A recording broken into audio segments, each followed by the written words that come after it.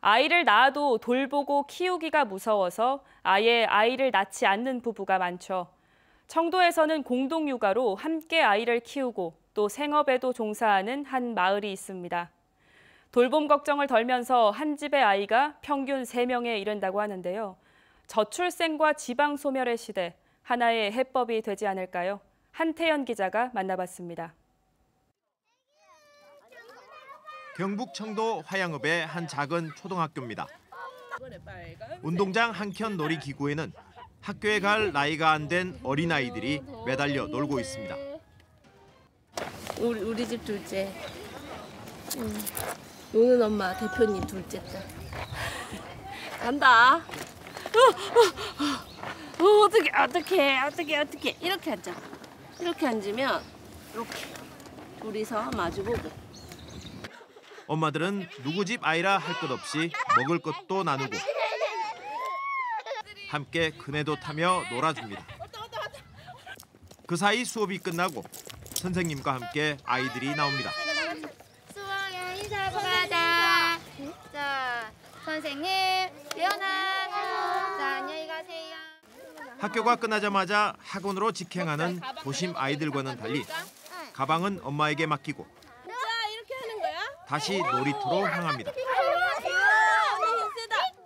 엄마들은 집으로 돌아가서도 이웃집 아이들까지 함께 공장놀이를 합니다. 여기 안에 나무가 있잖아. 이 나무를 붙인 다음에 그 위에 색칠을 해도 괜찮을 것 같아. 이 같은 공동 육아는 2021년 남편 고향인 청도에 정착한 주부들이 노는 엄마들이란 청년 공동체를 만들며 시작됐습니다. 두세 명으로 시작한 공동 육아는 2년 사이 11가족으로 늘어나 젊은 엄마들끼리 서로 돕고 의지하고 있습니다. 함께 키우는 아이는 모두 29명입니다.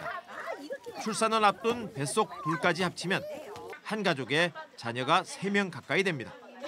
서로가 서로 아이들을 봐주면서 그렇게 노니까 아이들도 어, 어울려 노니까 더 잘 놀고 그리고 엄마들도 덜 지치고 엄마들끼리 같이 소통도 하고 이야기도 많이 나눌 수 있고 그런 점들이 참 좋은 것 같아요.